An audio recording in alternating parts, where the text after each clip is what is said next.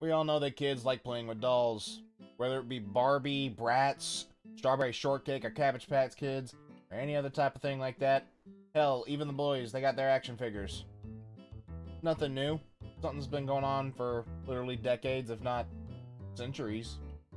And I'm sure there's little wood carved dolls from the 1500s that made just this kid just light up in joy whenever they get to play with it. Like, ooh, so boring, uh, but doll now, wood doll. Yeah. So it's a trend that's continued on for, I'm sure, centuries. But lately, there's been a little bit of a fuss over a newer doll that's come around. And I'm not the first person to talk about it, but my manager got on my case, said, hey, I want you to do this since you've got the followers. And yeah, my daughter just found one of these.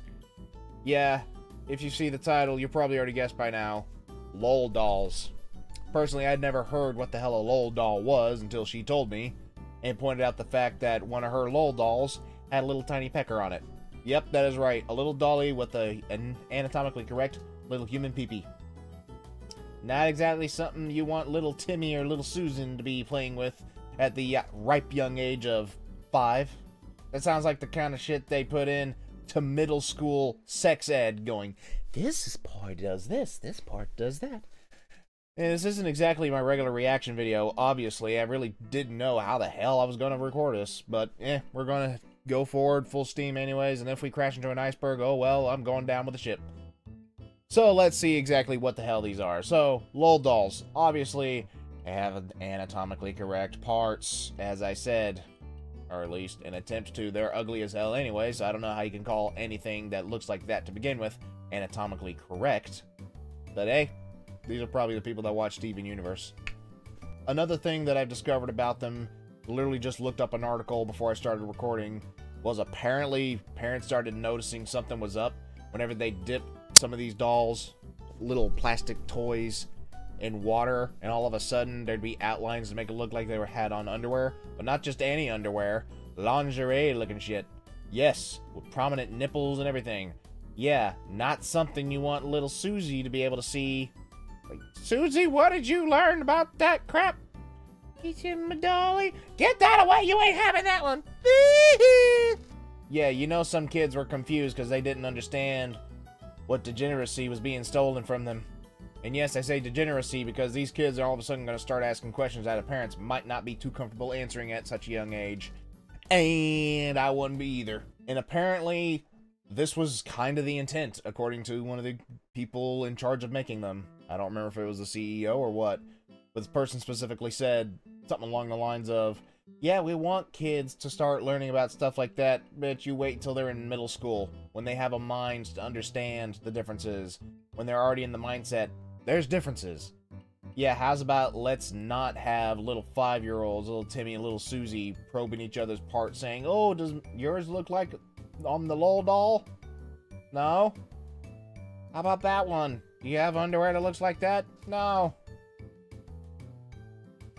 What? Obviously, I'm extremely late to this particular party. There's already been people who bitched about it, and I don't exactly have anything concrete to add to it. Just uh, manager slash friend asked me to do it, and I said, okay, it's a video idea. So here I am talking about it. Although I think I finally understand where the hell the Cuties director got her idea from. Think about it for a minute. LOL dolls have been out since what, 2016, 2017? And apparently the underlying message is to get people to start asking questions about the human body at a younger age. Sounds a little similar, doesn't it? And defended that decision?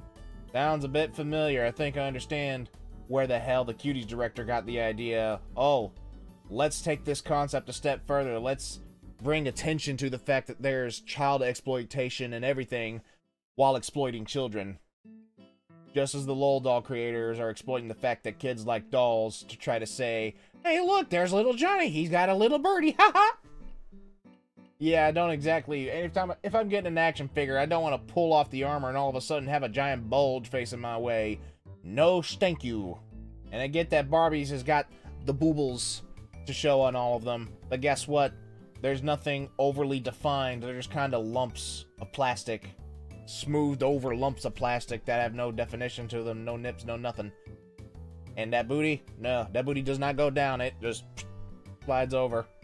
Nothing explicit in any of that. It's just very, very bare. So yeah, obviously the concept of dolls and stuff like this has existed for years. In fact, many ancient civilizations would make little statues of what they believed to be their gods with anatomically correct parts. Shit you not, they had fertility god statues with the boobs, the big old booty, and all that. I don't understand it. But obviously things were different back then. People believed in what whatever the hell they wanted to. Just look back to the ancient Greeks. They believed all their gods were on a hill that they didn't even bother climbing. I don't even know why I went on the tangent about the gods. Like, the Greek god stuff. It's just like, something to add to this video to pad it out, make it even longer so I can exploit the fact that maybe I can put an ad at the beginning and the ending of the video. Who knows, maybe this video will blow up. Probably won't. It's very different from what I normally do. There's going to be a crap ton of cuts in here, and you will notice them. Yeah, this video is probably going to really end up being around 5, 6 minutes long. I don't know why I'm mentioning that, but again, padding out the video. Okay, I probably better stop that before somebody gets annoyed and just says, Hey, that doesn't add to anything. You'd be right. I still wouldn't care. This light is very bright. I've never done this particular way before with the halo light, but I could see how it would just burn into my soul. I probably better wrap this video up. But yeah, the little dolls idea, they're ugly to begin with, but the idea behind them, I guess, is just really kind of stupid. Excuse the fact that I tried to sound like a Moist Critical ripoff in this particular video. I just didn't really know another way of going about doing this thing. So, by the way, if you haven't, go check out Charlie on Penguin Zero he's got some funny commentary on things, and he uh, obviously is a much better master at this kind of commentary than I. Plugging somebody's not even my own channel. But anyways, I guess that's just going to wrap things up here. I really don't have anything else to say that'll add. So it's just better to end it on a high note. There, there's your high note.